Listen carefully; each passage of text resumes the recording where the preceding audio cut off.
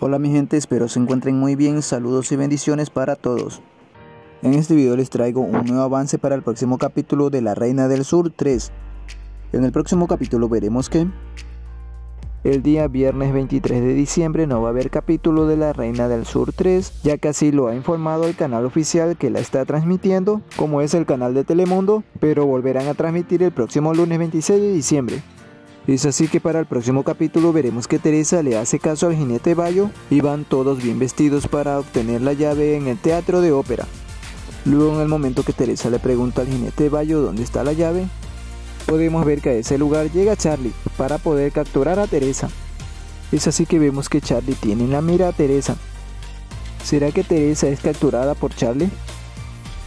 Bueno mi gente, esto ha sido todo el video. Espero les haya gustado. Si les gustó dejen su like, compartan.